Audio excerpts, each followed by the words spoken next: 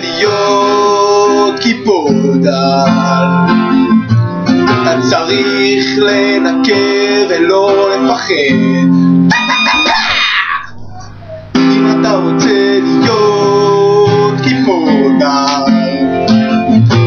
אתה צריך לנשוך את הרגל ולקרוא לה. זה הולך ככה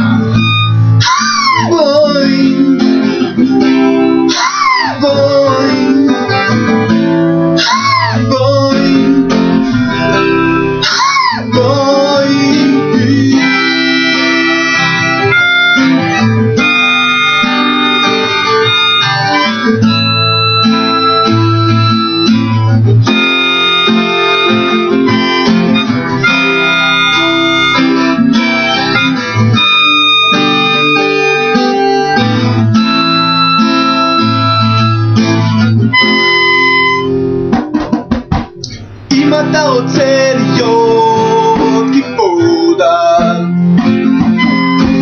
אם אתה רוצה להיות סוניק.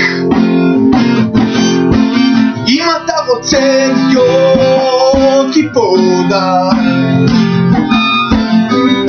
אתה צריך למשוך את הרגל ולקרוא לה